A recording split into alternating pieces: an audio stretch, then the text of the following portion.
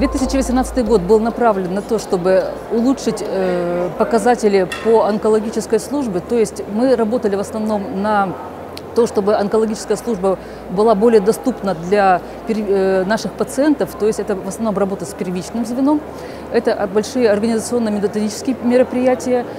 В 2018 году мы впервые получили федеральные квоты. Э, это квоты федерального уровня, в основном это операционные, то есть были сделаны многочасовые операции, это и реконструктивные операции, это расширенные резекции. Э, также у нас э, продвинулись хорошо наши радиологи, они освоили лучевую терапию с синхронизацией дыхания, они освоили МРТ-технологию, а также освоили технологию VMAP.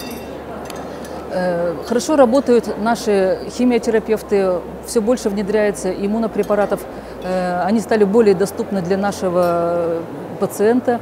Ну и надо сказать, что у нас откликнулось первичное звено, Первичное звено, мы впервые в этом году получили очень большое количество телеконсультаций. То есть в этом году, если два года назад еще буквально эти консультации составляли единичные случаи, это 10-20 было в год. В этом году сейчас уже сделано более э, двух тысяч таких консультаций, что, конечно же, приблизило нашего пациента к оказанию медицинской помощи, поскольку на сегодняшний день не, стоит, не, не всегда следует приезжать ему и привозить самому э, те же рентгеновские снимки, компьютерную томографию, данные каких-то анализов. Все это можно послать по телемедицине, получить консультацию и приехать уже на очную консультацию и либо очное лечение в онкодиспансер.